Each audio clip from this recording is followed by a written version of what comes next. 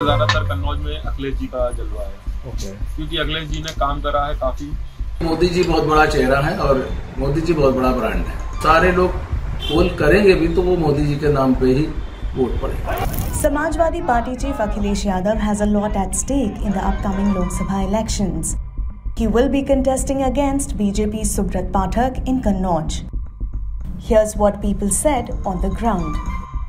अब ये कन्नौज के लिए जो इतनी इंडस्ट्री है कितनी महत्वपूर्ण है आपके लिए? ये कन्नौज के लिए बैकबोन है भाई कन्नौज का ये इतर पूरी दुनिया में जाता है। कन्नौज का कन्नौज का माल पूरे वर्ल्ड में जाता है। टोबैको लाइन में भी चलता है सोप डिटर्जेंट और जितनी महक है सारा काम जो है इसी से होता है। कन्नौज में समय चुनाव चल रहा है। समाजवादी पार्टी से अखिलेश यादव जी लड़ रहे हैं बीजेपी से सुब्रत पाठक जी सिटिंग सांसद है। आपको क्या लग रहा है लड़ाई किसमें है और चुनाव कैसा आपको लग रहा है? जी चुनाव बहुत अच्छा चल रहा है।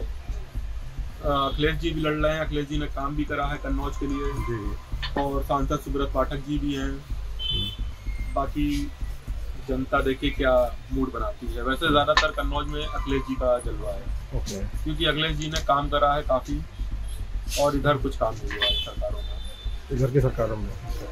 तो अखिलेश जी के आने की वजह से चुनाव में क्या असर आया है? क्या कैसा लग रहा है चुनाव? कन्नौज में अखिलेश जी के आने से बहुत मजबूती हो गई समाजवादियों में। चुनाव ठीक से चल रहा है। और चूँकि हम लोग तो भाजपा से जुड़े हुए हैं इसलिए अपने हिसाब से थोड़ा सा आदमी सोचता भी है। अच्छा। लेकिन कुल मिला के टफ है।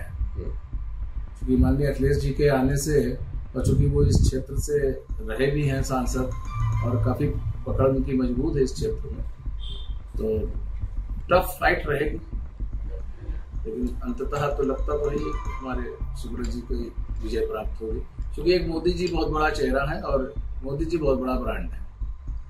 तो सारे लोग पोल करेंगे भी तो वो मोदी जी के नाम पे ही वोट पड़ेगा। यहाँ बोला जा रहा था कि समाजवादी पार्टी ने तेज प्रताप यादव जी को टिकट दिया था। अब यहाँ पे स्वयं अखिलेश यादव जी आए हैं अखिलेश जी के आने से इलेक्शन बहुत अच्छा हो गया है बहुत रोचक हो गया है। अच्छा। पहले लोग नहीं ज़्यादा इलेक्शन में वो कर रहे थे लेकिन अब ज़्यादा अच्छा हो गया है। अभी आपने बताया कि यहाँ राम मंदिर जब से जब अयोध्या में उसका उद्घाटन हुआ है यहाँ के बिज़नेस से भी उसका काफ़ी असर आया है तो हाँ कैसा है? बिज़नेस बिज़नेस पे काफ़ी असर आया। है कई लोग चूँकि राम हमारे पूज्य हैं आराध्य हैं और सबसे बड़ी आस्था हमारी राम से जुड़ी हुई है। पाँच सौ साल बाद ऐसा मौका मिला कि हम लोग इतने भव्य मंदिर में हम लोगों ने देखा।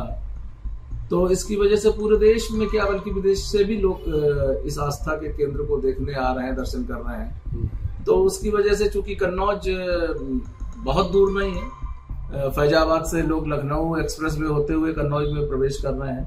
और इससे हमारा बिज़नेस भी बढ़ा। लोगों ने बहुत बारीकी से कन्नौज के इस परफ्यूम को इंडस्ट्रीज़ को समझा है, समझ रहे हैं। और इसका लाभ भी कन्नौज को, कन्नौज के लोगों को भी मिल रहा है। बाहरी भी जो व्यक्ति अभी तक बहुत सारी चीज़ें केमिकल के रूप में इस्तेमाल करता था, वो यहाँ के इतर से इतर से उसकी पहचान भी उसे हुई है।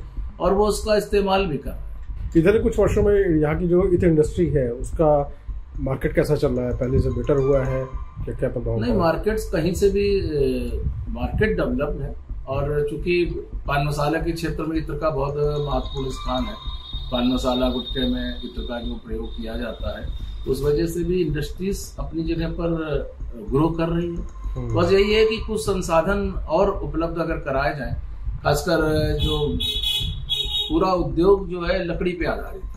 अच्छा। अगर इस पर थोड़ा सा गैस के रूप में किसी तरीके से उसको परिवर्तित करके हम लोगों का जो डेक का काम है और इसका काम है तो इसमें अगर इस गैस के रूप में अगर प्रयोग होने लगे तो इससे एक पर्यावरण का भी बहुत लाभ होगा।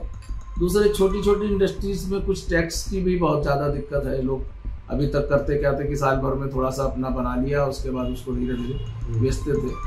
तो एक ये प्रॉब्लम आई।